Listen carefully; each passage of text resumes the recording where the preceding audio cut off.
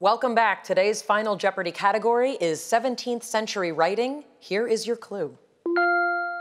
This 17th century work quotes the book of Job Behold the giants groan underwater, and they that dwell with them. You have 30 seconds. Good luck.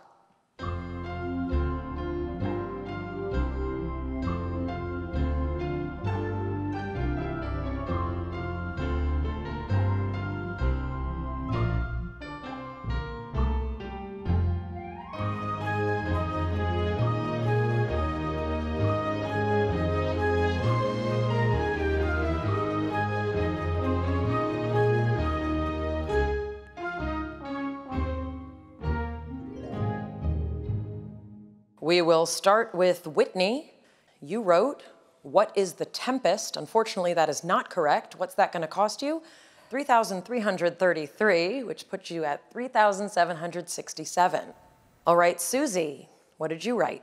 What is Gulliver's Travels? I'm sorry, no. How much is that going to cost you? $3,000. That takes you to 4,600. All right, Julia, with $12,800, you are in the lead. You wrote, What is the Decameron? Unfortunately, that is not correct. The correct response is, What is Leviathan? What's that going to cost you? $3,000. That takes you to $9,800, which makes you the Jeopardy champion with a two day total of $26,250. Congratulations.